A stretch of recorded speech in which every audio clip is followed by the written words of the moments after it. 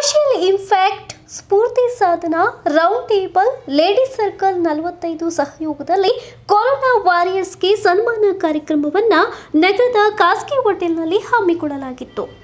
ನಗರದ ಖಾಸಗಿ ಹೋಟೆಲ್ನಲ್ಲಿ ನಡೆದ ಕಾರ್ಯಕ್ರಮವನ್ನು ಡಾಕ್ಟರ್ ಉಮೇಶ್ ಹಳ್ಳಿಕೇರಿ, ರೇಷ್ಮಾ ಫರ್ನಾಂಡಿಸ್ ಹಿಮಾನುಷ್ ಕೊಠಾರಿ ದೀಪ ಬೆಳಗಿಸುವ ಮೂಲಕ ಉದ್ಘಾಟನೆ ಮಾಡಿದರು.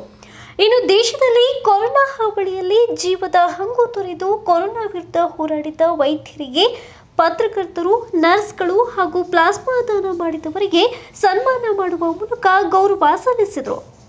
ಇದೇ ಸಂದರ್ಭದಲ್ಲಿ Hubballi round table president Himanush Kothari ಕಾರ್ಯಕ್ರಮ ಆಯೋಜಕಿ ರೇಷ್ಮಾ ಫರ್ನಾಂಡಿಸ್, ಡಾಕ್ಟರ್ ಪಾಟೀಲ್ ಇನ್ನಿತರರು ಭಾಗಿಯಾಗಿದ್ದರು.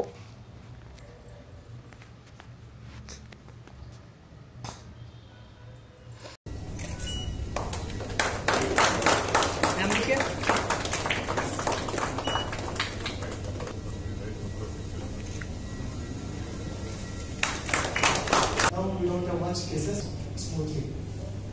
Less casualties now. So again, a round table. Thank you. Since almost one and a half, two months in the Kacha in the back end.